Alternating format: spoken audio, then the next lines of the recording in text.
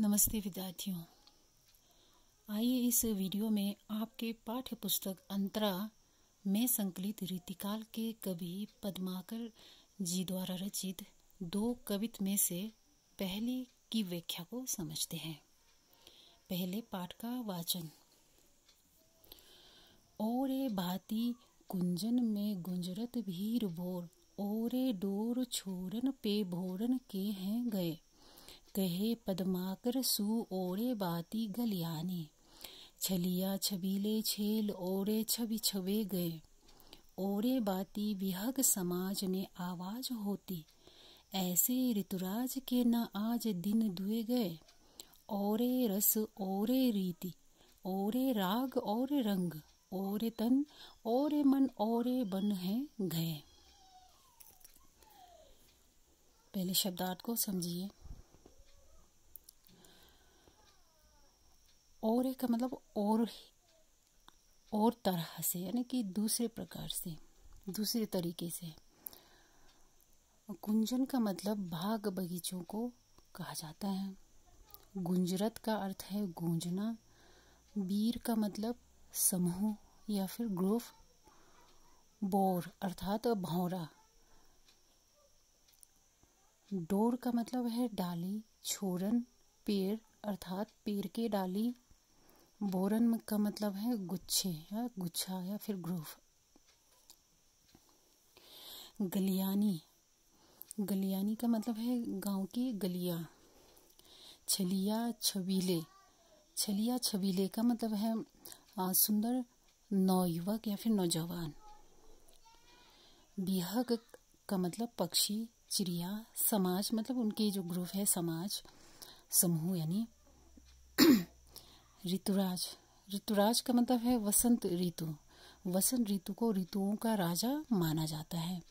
इसलिए यहाँ वसंत ऋतु के लिए आया है ऋतुराज।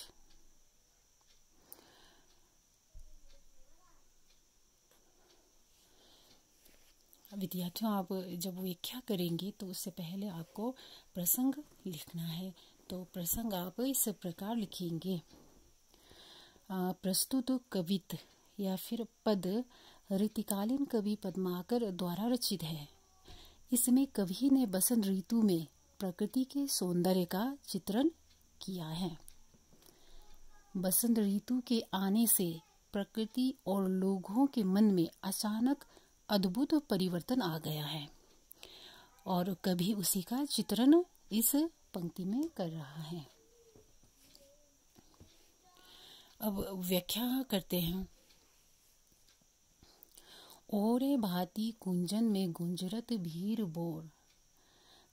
कभी पद्माकर जी कहता है कि वसंत ऋतु के आगमन के साथ ही बाग और बगीचों में बोरों की जो भीड़ है वो बढ़ गई है। बोरों यानी कि जो भौरे हैं, उनके जो समूह है, वो अब ज़्यादा बढ़ गए हैं पहले से। क्योंकि वहाँ क्या है तरह तरह के फूल खिल गए हैं। चूँकि वसंत ऋतु आ गए हैं तो बाग बगीचों में तरह तरह के फूल खिले हुए हैं। ऐसे में बोरों की जो समूह है, वो पहले से कई ज़्यादा भर गए हैं। उसके बाद कह रहे कि ओरे डोर छोरन पे बोरन के हैं गए। आगे कभी कहते हैं कि जो पेड़ों की डालों पर भी क्या है, बोर आ गया है। यानी कि पेड़ आम के जो पेड़ हैं, उस पर पहले जो छोटे छोटे फल लगे हुए थे। अब उनके जो आकार है, उसमें भी परिवर्तन आ गया है। क्योंकि अब वसंत ऋतु आ गया है तो उनके आकार भी बड़े हो गए हैं। अब वह कुछ ही दिन में क्या है, फल बन जाएँगे, यानी कि फल के रूप में तैयार हो जाएँगे। बोरन के हैं गए यानी कि जो फल के जो गुच्छे हैं ना? बंच वो भी अब उनकी जो आकार है वो बढ़ गया है बड़ा दिख रहा है, यानी उसमें भी परिवर्तन आ गया है वसंत ऋतु के आने से। इस वसंत ऋतु की जो मादकता है, उसका प्रभाव क्या है, बाकी चीज़ों में भी पड़ने लगा है। यानी कि वसंत ऋतु जैसे ही आ गया है, प्रकृति में तो परिवर्तन आ ही रहा है। इन पेड़ पौधों में या फिर बाग बगीचों में तो परिवर्तन दिख ही रहा है। साथ ही साथ लोगों के ऊपर भी इसके प्रभाव दिखाई पड़ रहा है। कहते हैं कवि पद्माकर कि सो ओरे भाती गलियानी, छलिया छबीले, छेल और छवि छवे गए। कभी आगे कहते हैं कि इस वसंत ऋतु की जो मादकता है, उसका प्रभाव सजीले यानी सुंदर जो नव युवक है, यानी कि गाँव के जो छेल छबीले जो सुंदर नौजवान है, उनके ऊपर भी पड़ा है। क्योंकि अब क्या वसंत ऋतु के आने से उनकी जो चमक दमक है वो बढ़ गए हैं। उनके चाल ढाल में भी परिवर्तन आ गए हैं, क्योंकि वसंत ऋतु के आने से लोगों के मन में, यानी कि इन नव युवकों के मन में भी एक उमंग, यह एक उमंग उनके मन में बढ़ गया है। इसलिए इनके चाल डाल भी अब बदल से गए हैं। पहले जैसे नहीं रहा है, उनके रंग रूप में बदलाव आ गया है। क्योंकि अब क्या है हुए मस्ती में गलियों में घूमते नज़र आते हैं ना कि इन गलियों में, गाँव के उन छोटी छोटी गलियों में मस्ती से घूम रहे नज़र आते हैं। पहले तो क्या है, वसंत ऋतु के आने से पहले तो ये नज़र नहीं आ रहे थे, लेकिन आज क्या है, वसंत ऋतु के आने से यह नवयुवक घूम फिर रहे हैं। उनके चाल डाल में भी बहुत कुछ परिवर्तन आ गया है। अर्थात उनके मन में जो प्रेम भावना है, वो भी क्या है? बलवती हो गई यानी कि वो भी जाग गए हैं। पहले वो ये एहसास नहीं कर पा रहे थे, लेकिन उनके मन में अब प्रेम की जो भावना है, वो भी उमंग ले रहे हैं। और आगे कह रहे हैं कि और बाती बिहक समाज में आवाज़। अब पक्षियों की बात कर रहे हैं कि, कभी कहते हैं कि पक्षियों के जो समूह हैं बिहक समाज का मतलब है पक्षियों के चिड़िया जो चिड़िया है उनके जो समूह ग्रुप। उसमें भी क्या है आ, अलग ही प्रकार से आवाज़ आने लगी। यानी कि यह जो चिड़िया है पहले जैसे नहीं रहे अब उनकी आवाज़ में उनके जो मधुर आवाज़ है वो उसमें भी परिवर्तन आ गया है। वो भी अलग ही अंदाज में चहकने लगे हैं चहचहाने लगे हैं। अर्थात उनकी जो चहचाहट है, वो बढ़ गई है। वसंत ऋतु के आने से इन पक्षियों के मन में भी उमंग बढ़ गया है और उनकी जो बोली है, उनके आवाज़ में भी अब परिवर्तन आ गया है।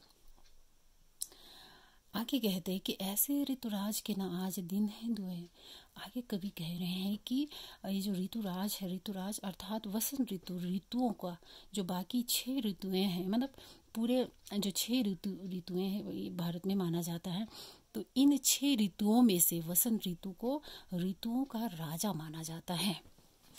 तो यह जो वसंत ऋतु है, इसके आए हुए अभी केवल दो ही दिन बीते हैं। यानी कभी कह रहे कि इनके आए अभी दो ही दिन हुआ है। आज दिन दुए गए, दो ही दिन बीते हैं। अभी ये हाल, यानी कि अभी इतना परिवर्तन, इतना कुछ प्रकृति में, मनुष्य में और बाकी जो जीव जंतु हैं, उनमें देखने को मिल रहा है तो कभी सोच रहे हैं कि आगे क्या होगा, है? अर्थात यह हाल जो वसंत आगमन के प्रारंभ का है, यानी कि शुरुआती जो असर है, ये तो अभी पूरी तरह जब वसंत के आने पर यह शोभा और कितनी बढ़ जाएगी, है कि नहीं? इसका तो सहज अनुमान ही लगाया जा सकता है कभी कह रहे हैं। वसंत के आते ही क्या क्या परिवर्तन आने लगा है?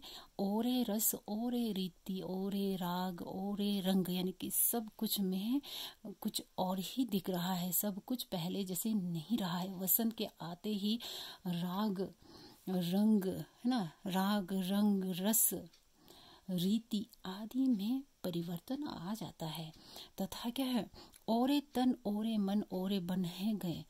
तथा हमारे जो शरीर है, शरीर और मन, तन, मन, यानी तन और मन भी और ही प्रकार का हो जाता है कब? वसंत ऋतु के आने से। अर्थात तन, मन में क्या है? उत्साह का संचार हो जाता है। जो मनुष्य उनके मन में भी एक उमंग, एक उत्साह का संचार होने लगता है जब वसंत ऋतु आ जाते हैं तब। वसंत ऋतु यानी कि प्रकृति और मनुष्यों में एक तरह से चमत्कारी परिवर्तन ला देती है। तो ये राज क्या है? वसंत ऋतु के आने से ही पता चलता है। तो ये रही व्याख्या। अब आप विशेष में भी कुछ बिंदुओं को लिखेंगे। जैसा पहला बिंदु में आप लिखेंगे वसंत के आगमन पर प्रकृति पक्षियों के जो समाज है, यानी कि पक्षियों के जो समूह हैं और मनुष्यों की दुनिया में जो सौंदर्य संबंधी परिवर्तन आ जाते हैं कवि ने उन्हीं का चित्रण इन पंक्तियों में किया है।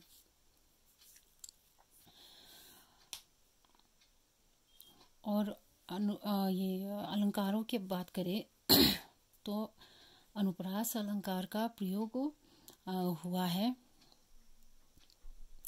जैसे यहाँ हुआ है, वीर भोरे, वीर भोर यानी यहाँ अनुप्रास अलंकार का प्रयोग है। शब्दों के दोनों मैंने पहला वर्ण बह बह का प्रयोग हुआ है। उसी तरह से यहाँ देखिए, छलिया छबीले छेल है ना? छवि छवे यहाँ और इधर। दोनों में अनुप्रास अलंकार का प्रयोग किया गया है। और एक बिंदु आप लिख सकते हैं कि वसंत ऋतु का मोहक चित्रण इस पंक्ति में हुआ है।